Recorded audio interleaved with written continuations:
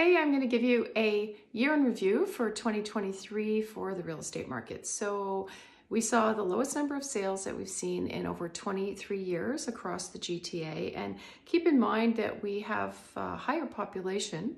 Um, 23 years ago, the population was two thirds of what it is now.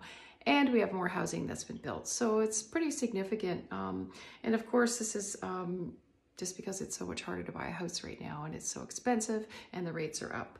Um, however, the bond yields are trending down. So the fixed rate, the five-year fixed rate has dropped in the last month, which is good news. Um, new listings have declined. And for example, here in Milton, we have two months of inventory for townhomes right now. Last fall, we were seeing up to six months of inventory. So um, three times as many homes on the market at that time for some micro markets.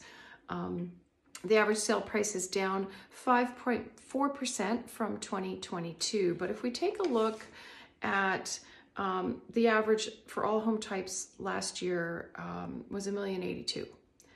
And that is down from 2022, which is at 1.174 thousand here in Milton. But if we go back to 2020, the average price was only 860. So we're still up 25.8% from 2020, that's not bad. And if we look at across the GTA, the numbers from 2020 to 2023 are still up 21%. So um, looking at the bigger picture, it's a little more positive than the drops that we've seen in the last couple of years. Um, if you have any questions, give me a shout. Um, here to help.